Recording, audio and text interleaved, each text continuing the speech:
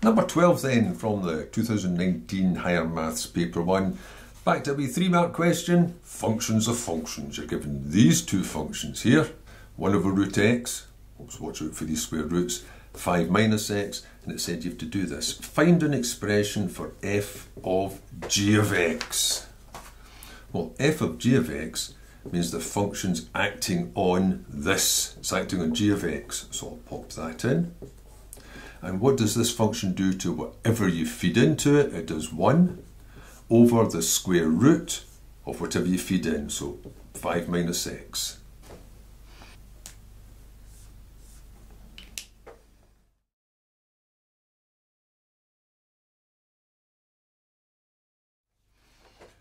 Part B then, state the range of values of x for which f of g of x is undefined. In other words, this expression is undefined.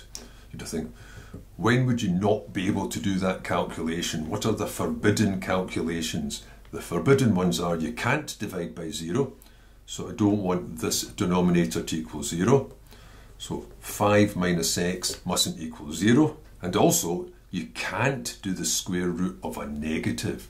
So 5 minus x can't be less than 0. So it's got a double whammy then. It can't be equal to 0 because then you'll be dividing by 0 and it can't be less than 0 because then you'll be doing the square root of a negative. Well, just solve that. So negative x is less than or equal to 0. Bringing that over, reading it backwards, x has to be greater than or equal to 5. If x is equal to 5 or more, you won't be able to get an answer to that calculation. If x is 5, it makes it 0. And if x is bigger than 5, it's worse than that, it goes negative.